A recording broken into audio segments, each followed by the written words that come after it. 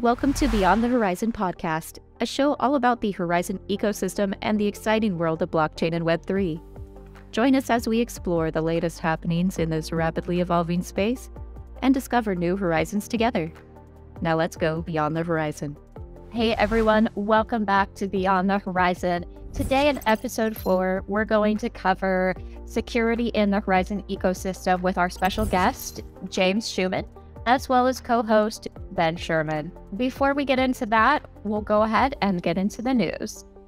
This month, we're thrilled to announce that Horizen Eon is now on its permanent testnet called Gobi. Check it out to begin preparing for launching your smart contracts on mainnet now. Testing this also comes with the opportunity to enter our bug bounty program, co hosted with Immunefi, which enables us to offer up to $75,000 in bounties to our community. We'll be discussing this further with our special guest and co host later on in the show. We hope that you'll check out this brand new opportunity on our testnet. Now let's go ahead and welcome our guests. Hey everyone, welcome back to Beyond the Horizen. Today on episode four, we're going to be discussing security on the Horizen ecosystem, as well as the new bug bounty program that was recently announced with the Gobi testnet launch for Eon. We're going to have our special co host, Ben Sherman, here, who you met in our previous episode. Thanks for having me. Ecstatic to be here. As well as our special guest, James Shuman, head of security at Horizen Labs. And since uh, you guys have not met James yet, let's go ahead and welcome him on. Uh, James, why don't you introduce yourself? Thanks, Ben. Thanks, Erica. Appreciate the intro there. Um, so, yeah, so my name is James Shuman. You also hear me referred to as Jimmy. Um, I go by either, don't mind. Um, but I'm actually kind of a new addition here to the Horizen Labs team. Um, so I've been here five months now. Uh, and I kind of came from more of a consultant background um, in a lot of different verticals. So I spent a lot of time in the DoD space, uh, also commercial SLED, which is uh, state and local education.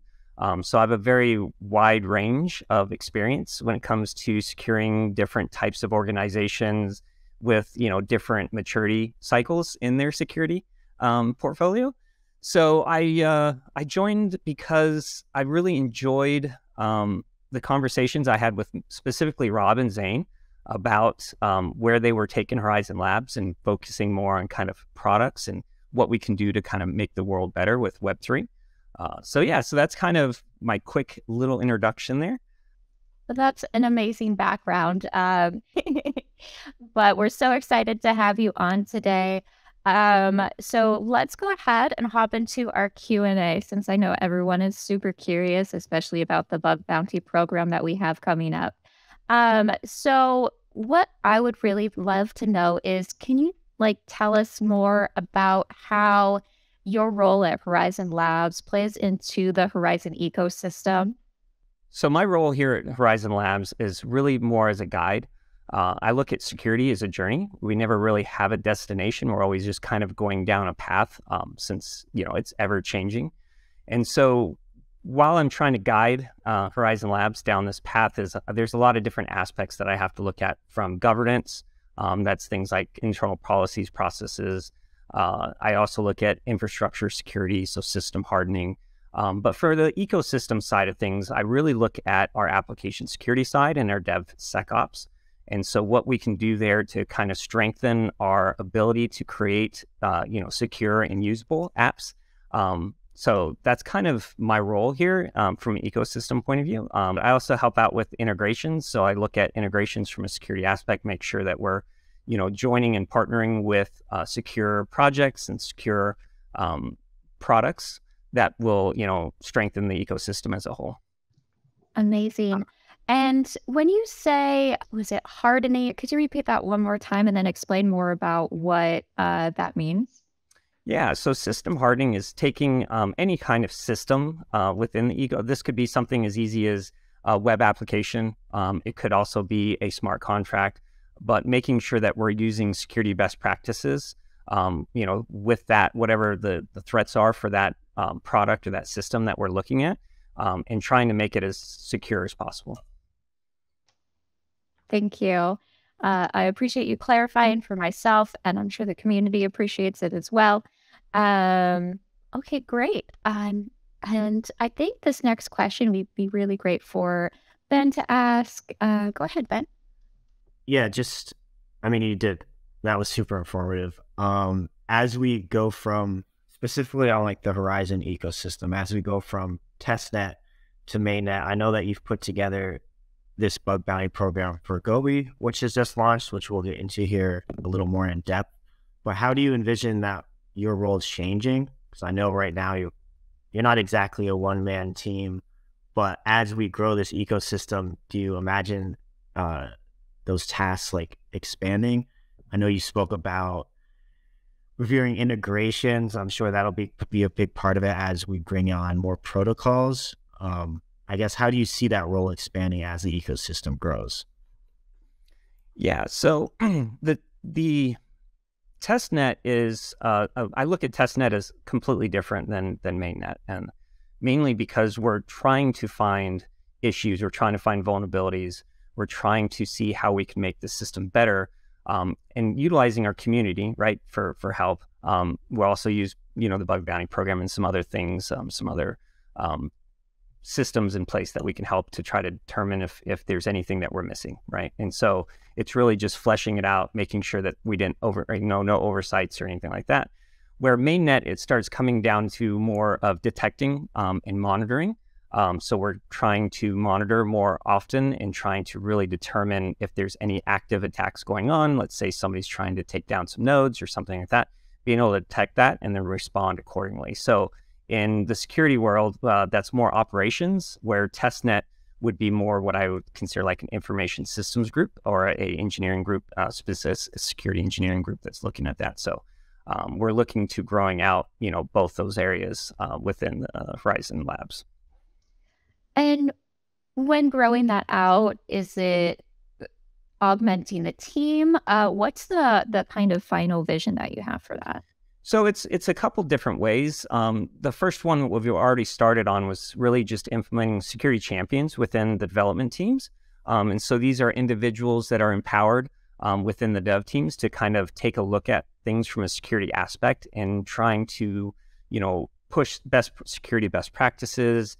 Um, they're also a really good bridge, a communication bridge between the security group and the development team, just because there's always there's always stuff going on in the development team, and the security might not always be exactly aware aware of what's going on. So we want to make sure that communication is is really solid between the groups, um, and that security champions can really help out with that. Um, the other aspect is yeah, growing the security group as needed. Um, going from you know the team that we have now, uh, adding a few people, and just as a shameless plug here, I'm actually looking for a security intern for this summer.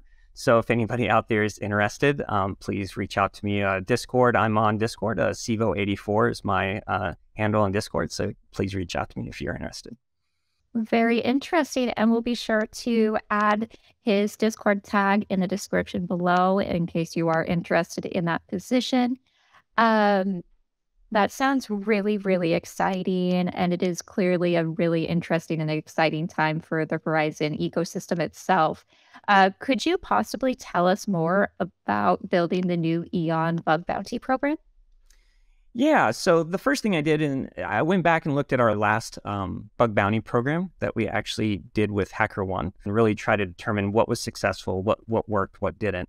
Um, and one of the things that I was kind of thinking or reviewing when I was reviewing, I was thinking that this was maybe not the what right um, community to work with, just because HackerOne is great. By the way, don't don't get me wrong, but they are very much more of a traditional um, hacker group. Um, so they're looking at web applications and um, just you know more typical type of uh, uh, applications and systems out there. So since this bug bounty is focused around our blockchain, la- uh, layer one blockchain, we really wanted to try to get a community that was more focused on that type of technology. Um, and so we kind of went down uh, looking at multiple different, you know, bug bounty program partners, um, and we did land on Immunefi, which is um, very focused on the Web three space. Uh, so then it was working with them to help, to, you know, figuring out what's the right um, pathway for a testnet because this is a testnet bug bounty. So we wanted to make sure that we weren't creating any kind of like excess um, problems or anything with it. So we really um, worked with them and they provided a lot of insight on kind of how to try to get more uh, participation within our bug bounty program. So that was kind of the big um, push there. And then maybe we could hop into specifics of it regarding the uh, bug bounty. And from my understanding, this bug bounty is currently for Gobi. And then in addition, there will be a separate one for mainnet once it launches. If you wanted to kind of get more into specifics. Correct. Yeah. So for the Gobi bug bounty, the specifics there, we're covering uh, multiple impacts. So we're looking at impacts for payouts, basically, is the way it works. And so we're only doing critical and high impacts for Gobi, um, just because it is a test net. And so it's a 75,000 payout for any kind of critical. Um, and if you go to the Immunefi website and look at the bug bounty, you'll see what the actual impacts are. I think there's five in the critical, and one of them is like loss of user funds would be one. Um, so it's all determined on the impacts. Um, and then our highs are 25K payout, and there's a couple different uh, impacts that we're looking at for highs. Um, so that's kind of the the, the nutshell of, of the, the Gobi bug bounty. Um, now, when we move to more of a mainnet uh, long term bug bounty that we're going to have, um, that's going to be we're going to cover down all the impacts there, so low, medium, high, critical, um, and then but the payouts will be a little bit lower. Um, but we're also expecting less, uh, hopefully less uh, findings within that group. Um, but yeah, so really, we're just trying to really incentivize right now the uh, the Go- the Gobi um, bug bounty, um, and so that's why our incentives are a little bit higher than normal. It's very cool. Um, and is that something that? Well, I have to imagine that that would have to run all the way up until mainnet launch. Yes, yeah. Sorry, yeah. The the plan is to run Gobi, um, the bug bounty for Bo- Gobi until mainnet launch, um, and then we'll move to the mainnet bug bounty and the uh, the Gobi will be discontinued at that point. And then, I probably the last question for me. Um, in regards to, I understand like going with Immunefi, very Web three focused community. That makes sense. Um, was there any specific reason though that you went with them over, like say a Surtech or some of the others? Um, honestly, it was the the partnership. So just talking to them, uh, our account manager over there, um, they were very open um, to any questions that I had. Um, we walked through a lot of different scenarios. They were just very accommodating when it came to working with us, um, where it seemed like we were a little bit um, not as as close with the other ones. Let's put that way. So. working with the Immunefi was, like I mentioned earlier, you know, it was very, uh, very smooth process. it was very simple. Um, we like the uh, payout structure with the impacts. Um, I think that creates much more of a flexible and open bug bounty instead of having like specific tasks that we're looking for you to do and then finding any kind of issues with those tasks. Um, I w- really wanted to have more of a kind of an open field that says, hey, here's our repos, here's our uh, here's the areas that we're interested in, here's all of our documentation that we have, here's our you know test faucet, everything you guys go out and just figure out what you guys can do, and then you guys bring back any kind of issues that you see. Um, I think that was kind of one of the biggest um, pieces that I really liked about the Immunefi um, program. Nice. Sounds like a uh, possible future interview there, Erica. If we could only we could get them on. I would absolutely love to have them on. I think that would be super interesting. I do have one follow up question, Jimmy. Um, so what is the process of checking the bug bounties that are submitted to us look like? Yeah, so we do have an SLA. So we usually review and respond within 24 hours uh, is the uh, the goal there. Um, and so I'll get an email um, or uh, another person from our team, and then what we'll do is we'll review um, the findings. Um, now I do want to kind of say upfront that there is a requirement for a proof of concept. So if you do find something, um, you got to actually prove that the vulnerability is actually exploitable. It's just not a vulnerability that sometimes there's other security controls in place that'll actually block uh, vulnerability from being exploited. So we just want to make sure that we, you know, it's an actual good find. Um, but once we verify the the POC um, with our engineering group, um, and then the payout would go out um, directly from us to the hacker. Um, Immunified is not actually, we're not paying Immunified, they're paying them. Um, so the, the transaction or the payout is actually between us and the hacker. So, are there any other um, requirements on that submission? There is. There's a, a, know your customer requirement since we are a U.S. based uh, customer uh, or a company. Um, we are required to have a certain level of knowledge of who we're paying um, out to. So there is, you know, we got it. Basically, what it is is name, address, and then proof of residency. Um, and this doesn't mean that you have to be in the United States to get a payout. It just means we got to have that information before we can pay out. But even if you're in Europe or Italy or wherever, um, you know, we you can get the payouts that way too. So. Yeah, that makes sense, of course. Um, so that kind of ends all of the questions that I had specifically about the program. Is there anything that you uh, might like to touch on, though, regarding uh, security or the bug bounty? Um, no, I, I'm. I appreciate the time of jumping on here and having this conversation about it and actually sharing this with the community because if if the community doesn't get involved with the bug bounty, then it's really kind of worthless. Um, it's just kind of sitting out there, not really being beneficial to us. Um, but the big thing with the bug bounty is, is we really want it to be beneficial to us and the community or the hackers. And so we really want some involvement, especially from our existing Zen community.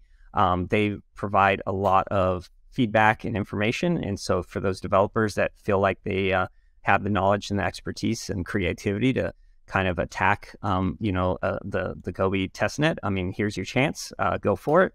I definitely would like and love to see more people get involved with these um, bug bounties, and so that's kind of my last kind of say on that. You heard it from Jimmy. He wants to give you our money. Go get it. Just go be testnet. Steal all the test tests then that you want. Amazing. Well, thank you so much for joining us today, Jimmy. It's been a real pleasure. Um, and as we mentioned, the bug bounty program was launched with our Gobi testnet. So we'll be linking all of the information below. Uh, go ahead, give it a check out, try and steal our tests then, as Jimmy suggests. And uh, we look forward to seeing what everybody in the community does. Thank you. Appreciate the time. Thank you for having me, Erica. And uh, great job, Jimmy. This, this sounds like it's going to be a good time. Thank you for joining us on Beyond the Horizen. Stay tuned for more exciting episodes as we continue to discover the limitless potential of the Horizen ecosystem. If you liked this episode, make sure to subscribe and leave a thumbs up. Thank you, and we'll see you again next time.